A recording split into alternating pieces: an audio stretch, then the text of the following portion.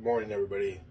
So I'm gonna take my body weight this morning, and uh, I'm starting to get on some. I'm starting to feel fucking solid now.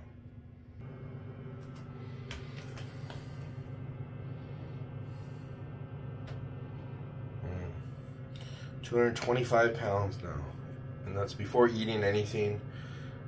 Um, that's after, you know. So I didn't lift weights at all yesterday. I just ate pretty good.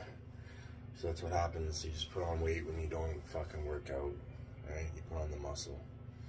So now, well, I put on probably, I haven't really put on too much fat. You can still see hair a little bit, right? Just a little bit normal.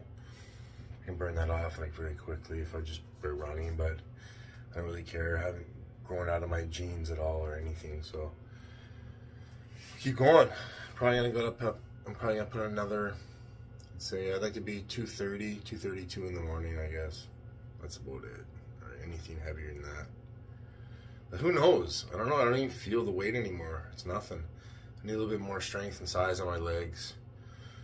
Now, as for this curl competition, I'm not involved in it. I really don't give a shit about it, okay?